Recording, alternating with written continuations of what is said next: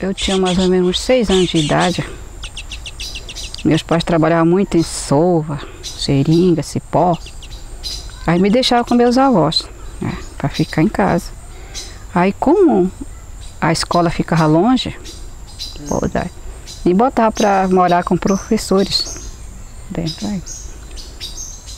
Só que eu sentia muita saudade, é claro, né? Eu ficava lá, só ia me deixar um pouco assim de rancho, algumas coisas assim, que é para comer, beber, claro que eles não esqueciam. Aí foi, passei um ano, eu tinha seis anos de idade.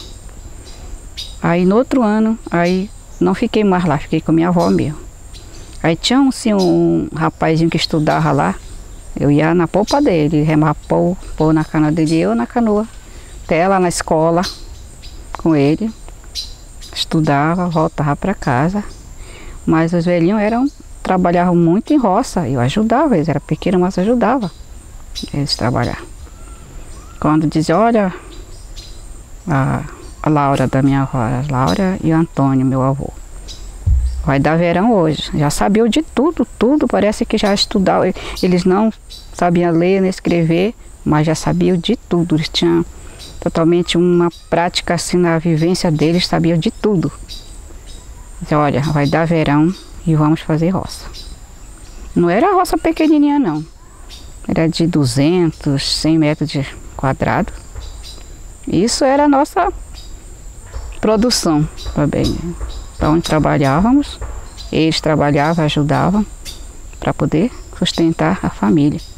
Enquanto meus pais trabalhando sova, fazia 10 alqueires de farinha, mandava para lá. Quando os patrões chegavam, né? Era dessa forma que viviam com meus avós.